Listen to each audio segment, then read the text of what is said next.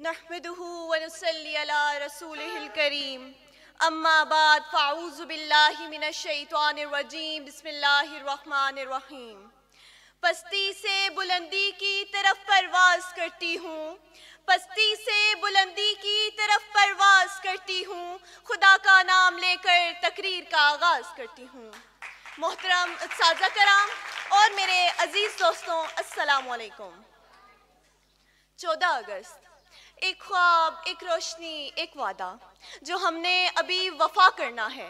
चौदह अगस्त तारीख का वो यादगार दिन है, जब एक मजलूम कौम की ज़िंदगी में आज़ादी का सूरज तलु हुआ। आज़ादी का ये दिलकश एहसास जो हमें मिला है, ये जहदे मुसलसल की तवील दास्तान और तारीख का दिलगुदाज बाब है।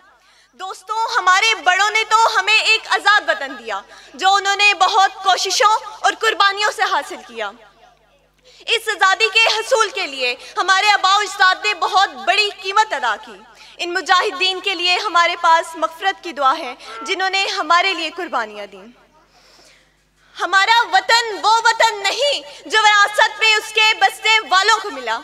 इसकी बुनियादों को इस्तवार करने के लिए मुसलमानों ने ईंटों की जगह हड्डियाँ और पानी की जगह खून बहाया। खाकों खून में लिथड़ी हुई लाशें इस वतन को जान का नजराना देकर हमारे लिए एक आज़ाद वतन को तोहफा दान कर गई सजीजी वकार, लेकिन अब के दौर के पाकिस्तान और उसके मौजूदा हालात आपके सामने हैं कि हमारे कायद का सत्तर साल बुढ़ा पाकिस्तान चीख चीख कर कह रहा है कि कहाँ गए कहाँ गए कौम के वो सबूत जिन्होंने इकबाल के ख्वाबों को ताबीर देनी थी। लेकिन हमारा आज का नौजवान मुकम्मल तौर पर मगरबी रंगों में ढल चुका है। अरे अरे, हम तो वो थे जिनकी बेनियाम तलवारों से यजीदियों के दिल दहल जाते थे। मगर अफसोस, आज वो शमशीरें जंग आलूद हैं।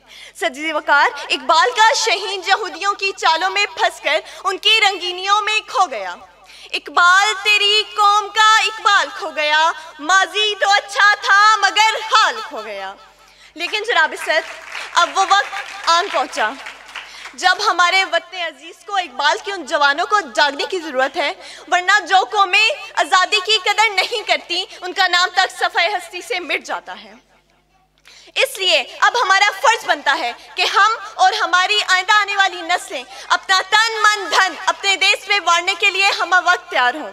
आइए हम इस खात आइए हम पाकिस्तान की खातिर हमें एक होना पड़ेगा। इस मट्टी से वफा तुम भी करो, हम भी करें। इस मट्टी से वफा तुम भी करो, हम भी करें। इसका जो हक है, अदा तुम भी करो, हम भी करें।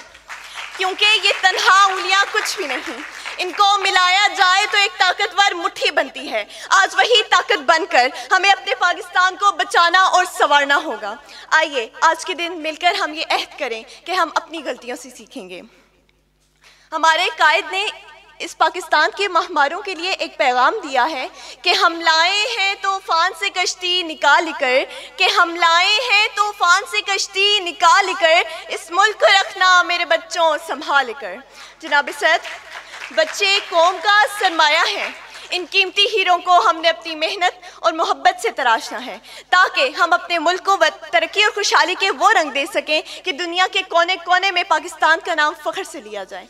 मैं इस दुआ के साथ इजाज़त चाहूँगी। खुदा करे मेरी अर्ज़ पाक पर उतरे।